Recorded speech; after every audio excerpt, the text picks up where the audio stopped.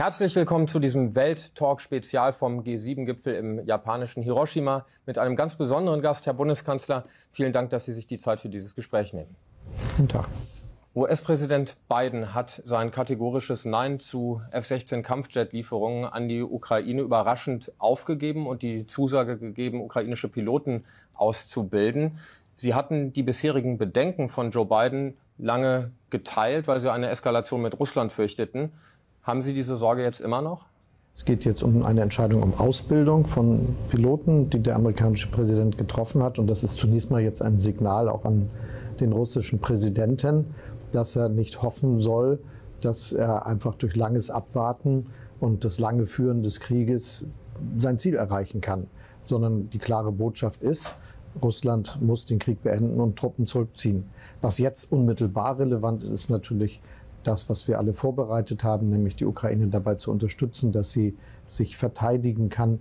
Und das haben wir in Deutschland gemacht als das Land, das nun mittlerweile der zweitgrößte Unterstützer der Ukraine ist, in finanzieller, humanitärer Hinsicht, aber auch im Hinblick auf Waffenlieferung mit den Entscheidungen der letzten Monate und jetzt auch ganz neu nochmal mit unserer jüngsten Ankündigung, was jetzt Lieferungen in diesem und auch im nächsten Jahr betrifft. Sie sagten gerade, diese Ausbildung der Piloten sei ein Signal Richtung Moskau. Das Signal ist offenbar angekommen. Der russische Vizeaußenminister hat erklärt, eine mögliche Lieferung von F-16-Jets könne, ich zitiere das wörtlich, kolossale Risiken nach sich ziehen.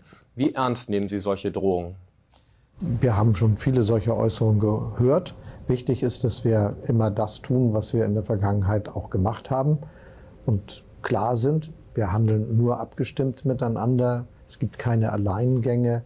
Und äh, wir sorgen dafür, dass es eben nicht zu einer Eskalation des Krieges kommt zwischen Russland und der NATO. Und das machen wir aber, während wir gleichzeitig nach besten Möglichkeiten die Ukraine bei ihrer Verteidigung unterstützen. Denn das darf nicht vergessen werden. Russland hat äh, versucht, mit Waffengewalt sich einen großen Teil der Ukraine einzuverleiben. Das darf nicht gelingen, wegen des Friedens und der Sicherheit in der Welt, aber auch eben in Europa ganz konkret. Könnten Sie sich vorstellen, auch in Deutschland ukrainische Piloten auszubilden? Frankreich zum Beispiel hat das ja angekündigt, obwohl es gar nicht über F-16-Jets verfügt und sagt, die Systeme seien gar nicht so unterschiedlich. Zunächst mal ist es jetzt eine Entscheidung derjenigen, die überwiegend über solche Systeme verfügen. Und wir haben uns bisher sehr konzentriert auf die Dinge, die wir gemacht haben und bleiben aber natürlich Partner mit vielen anderen. Und äh, das wird auch uns in der Zukunft begleiten.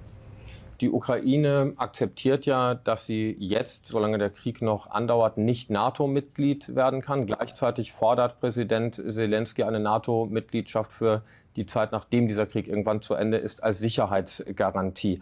Glauben Sie, dass die NATO dieses Signal auf ihrem Juli-Gipfel in Vilnius Richtung Ukraine senden wird? Zum Beispiel mit einer Roadmap? Jetzt geht es erstmal darum, die Ukraine weiter zu unterstützen. Und das ist eine Aufgabe, in der wir alle versammelt sind bei dem, was sie jetzt machen muss, nämlich ihr Land zu verteidigen, dass wir dann für die Zukunft über Sicherheitsgarantien sprechen, das ist natürlich klar. Und äh, zu diesen Sicherheitsgarantien gehört die Frage, wie sehr wir in der Zukunft das Land mit äh, Waffen unterstützen werden. Denn auf die Dauer hin wird es ja nur auf Waffen zurückgreifen können, die aus Produktion in Europa oder Nordamerika zum Beispiel stammen. Und äh, das Zweite ist, dass wir dann auch sicherstellen müssen, dass man klar hat, wie die Sicherheitsgarantien auch wirken können in einer Nachkriegssituation. Nur sind wir da noch lange nicht und deshalb sollten wir uns auch auf das konzentrieren, was jetzt ansteht. Aber würden Sie denn theoretisch eine NATO-Mitgliedschaft unterstützen nach Kriegsende? Wir haben ja in Bukarest Entscheidungen getroffen, die eine Perspektive formuliert haben vor langer Zeit. Aber das ist immer eine Entscheidung gewesen, bei der allen sehr klar ist, dass das keine Sache ist, die in der nächsten absehbaren Zeit stattfinden wird. Auch deshalb, weil natürlich zu den Kriterien, die die NATO für sich formuliert, viele Bedingungen gehört, die die Ukraine äh, aktuell gar nicht erfüllen kann. Das andere große Thema bei diesem G7-Gipfel war China. Äh, in ihrer Abschlusserklärung warnen die G7 China, ich zitiere das wörtlich, vor Aktivitäten zur Militarisierung im asiatisch-pazifischen Raum. Sie haben noch viele Gespräche geführt. Wie groß ist Ihrer Ansicht nach jetzt die Gefahr eines chinesischen Angriffs auf Taiwan? Wir haben uns mit vielen Fragen beschäftigt. Zu denen gehört insbesondere ein ganz intensives Gespräch mit den Ländern in Afrika, im Süden Amerikas, in vielen anderen asiatischen Ländern, um eine Welt zu schaffen, die multipolar ist und der auf Augenhöhe miteinander agiert wird. Und in diesem Zusammenhang spielt natürlich auch China eine Rolle, weil ganz klar ist, dass das ein Land wird, das weiter wirtschaftlich wachsen wird, was man ja den Bürgern und Bürgern des Landes auch nur wünschen kann, denn viele leben da ja noch in sehr schwierigen wirtschaftlichen Verhältnissen, aber wo auch klar ist, dass daraus eben keine Gefahr für die Sicherheit der Region entstehen darf. Und das ist etwas, worüber wir uns klar sind und was wir auch sehr präzise geäußert haben. Wie groß ist die Gefahr? Wir verfolgen im Hinblick auf äh, China eine sogenannte Ein-China-Politik. So sieht das Taiwan, so sieht das äh, das kommunistische China. Und dazu gehört aber auch, dass ganz klar ist, dass mit Waffengewalt keine Grenzen verschoben werden dürfen und kein Status quo geändert werden darf. Das ist schon lange, was wir sagen. Und darauf bestehen wir auch. Im Kreise der G7 gibt es ja durchaus schon Planspiele für einen Überfall Chinas auf Taiwan. Die USA etwa haben ja schon Militärhilfen verbindlich zugesagt für den Fall, dass das passieren sollte. Kann sich daraus ein dritter Weltkrieg entwickeln? Es geht alles darum, dass das alles nicht passiert.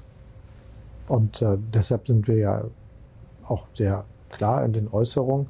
Aber die Bemühungen müssen doch sein, immer darauf zu bestehen, dass unsere Welt nur dann friedlich sein können, wenn Konflikte nicht mit Waffengewalt gelöst werden und darauf nochmal hinzuweisen, das ist ein sehr gutes Ergebnis dieses Zusammentreffens. Jetzt sprechen Sie gerade das Ergebnis des Zusammentreffens an. Es gibt in dieser Abschlusserklärung viele Mahnungen an China, etwa zum Thema Taiwan, aber auch Menschenrechte, Welthandel werden da angesprochen. Gleichzeitig wird der große Respekt vor China geäußert, vor der Größe und es werden gute Wünsche geäußert für die wirtschaftliche Entwicklung, wie Sie ja gerade auch gesagt haben. Glauben Sie, dass so eine Kritik, die ähm, sagen wir mal, mit Zuckerguss überzogen wird, äh, wirklich eine Wirkung auf das Verhalten Pekings erzielen wird? Wir müssen klar sein in dem, was wir sagen. Die Welt, in der wir leben, wird sich ändern. Es wird viele Länder geben, die an wirtschaftlicher Bedeutung gewinnen. Das dürfen wir ja nicht vergessen. Vor der Phase der Industrialisierung, 200 Jahre, 250 Jahre zurück, haben Indien und China zum Beispiel 20 bis 30 Prozent des Weltsozialprodukts ausgemacht. Und die Welt normalisiert sich in dieser Hinsicht. Es wird bedeutende Länder im Süden Amerikas, in Afrika und in Asien geben. Und für diese Welt ist eben klar, dass Wachstum möglich sein muss in vielen Ländern, aber dass das gleichzeitig eingebettet ist in eine multipolare Ordnung, in eine Ordnung der Zusammenarbeit, multilateral, wie wir das nennen, in der es eben nicht zu militärischen Konflikten gibt, in der nicht Macht, sondern Recht die Zusammenarbeit bestimmt. Und das ist dann ja zu aller Nutzen. Diesen Appell haben Sie formuliert in der Abschlusserklärung. In China kam das Ganze nicht so gut an. Eine Sprecherin des chinesischen Außenministeriums äh, hat erklärt, die G7 diskreditieren und greifen China an. Folgt daraus jetzt ein Temperatursturz in den chinesischen Beziehungen zum Westen? Das sehe ich nicht. Sehen Sie nicht? Nein. Wie gehen Sie um mit solcher Kritik?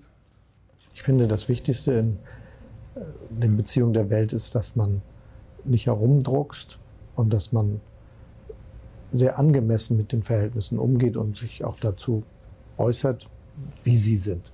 Das haben wir hier gemacht und ich will das nochmal unterstreichen, dass hier auch betont worden ist, dass es nicht um die Coupling geht, also das Ausschluss von China aus den weltwirtschaftlichen Beziehungen, darum, dass äh, Länder, das sind ja fast alle, die hier versammelt sind, mit großen Investitionen auch in China dabei, dass das aufhört, sondern es geht darum, dass man eine Weltordnung schafft, die friedlich ist. Und das ist etwas, was, glaube ich, wirklich notwendig ist und auch der Kurs ist, den wir weiter verfolgen sollten.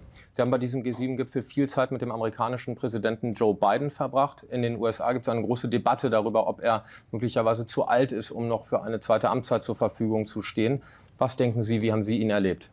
Ich habe ja nicht nur jetzt, sondern auch äh, schon vorher oft und sehr ausführlich mit dem amerikanischen Präsidenten gesprochen. Das ist ein Mann, der sehr klare Vorstellungen hat und der sehr genau weiß, was los ist in seinem Land, aber auch in der Welt.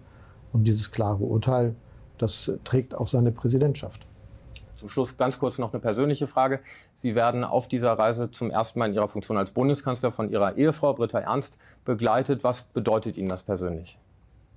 Das ist sehr schön, auch weil wir dadurch viel Zeit miteinander haben, schon während der langen Flüge. Und das ist anders als zum Beispiel bei dem Gipfel, den wir in Deutschland hatten, wo meine Frau ja auch sich sehr engagiert hat. Nun sind wir Gäste, alle beide bei diesem Gipfel. Und für mich ist das sehr schön, für uns beide ist das sehr schön. Herr Bundeskanzler, vielen Dank für dieses Gespräch und Ihnen vielen Dank für Ihr Interesse.